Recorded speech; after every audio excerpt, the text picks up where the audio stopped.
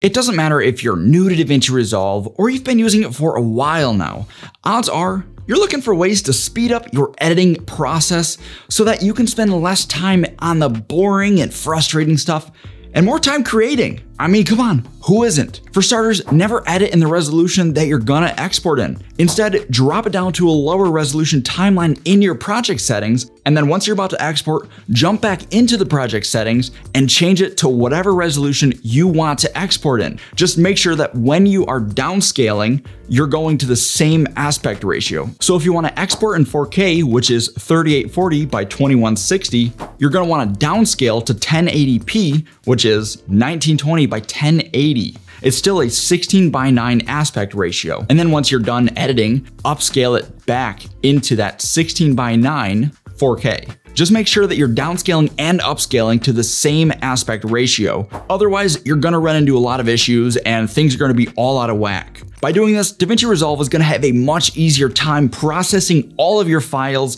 and ultimately give you a much smoother playback when you're editing. Now, I have two more simple tricks to increase your editing speeds, ultimately making you a more efficient editor. But if you're new here, my name is Billy Rybka and I make weekly videos all about teaching you to become a better video editor. So if you want to level up your editing skills, click the subscribe button and the bell notification so you don't miss out on anything.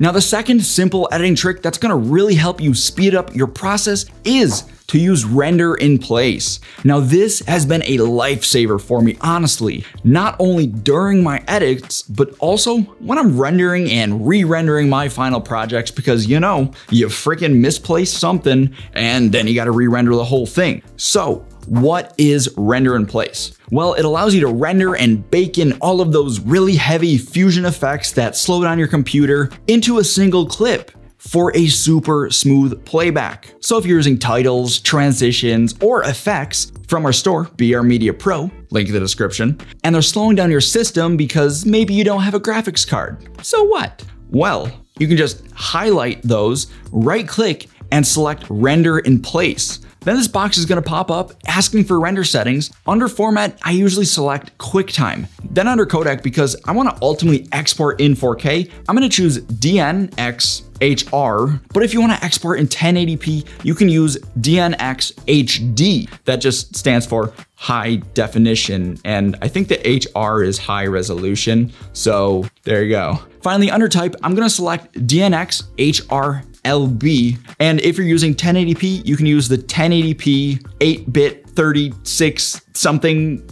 You know the one. You just look at it on screen. I hate codecs so much. They're so complicated. So the reason we're choosing these settings is because DaVinci can easily read this codec and not have to process and slow down your system. Once you got all of that though, hit render and DaVinci's gonna create and replace your effect heavy clip with a rendered version of it so we can just speed through it. Now let's just say you've already rendered in place, but you wanna actually go back and edit the clip, but it's a rendered version of it. What you can do is right click on the clip and select decompose to original and it's gonna switch back to your original version where you can go and edit the effects that you created. And once you get it all looking good and stuff, you can go back and render it in place again because ultimately it's gonna speed up your editing process, but also speed up your rendering times. Now, before one of you jumps in the comments and says, hey, it doesn't work for my text and all of that stuff, you're gonna need to highlight the title and also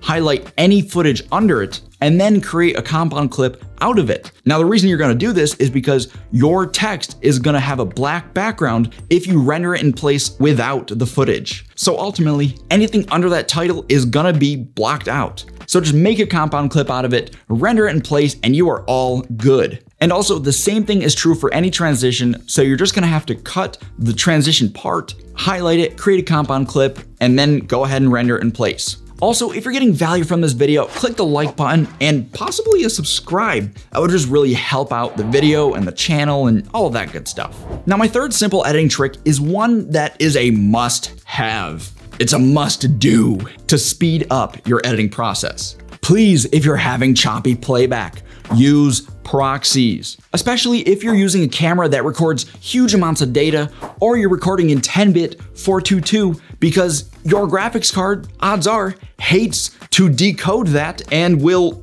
really throw a big hissy fit about it and be all slow and stuff and make your editing really horrible, even if you have a great graphics card. Like I have a Quadro 5000, and if I throw 10 bit footage at it, it does not like to process that stuff fast. Like it's just slow. And then if we throw more effects on it and more color grades, it slows down and I get sad and nothing's fun. So to create proxies in Resolve, you're gonna have to right click on the clip in the media pool, then select generate proxy media and just wait for it to finish. Now, depending on your system and the quality of footage that you're using and the proxy, it might take a while. It also could be really quick if you're using like a monster of a system. But what you can do to kind of speed up that process in the project settings under optimized media and render cache, you want to change the proxy media formats to DNX HRLB. You can also do that for the optimized media and the render cache.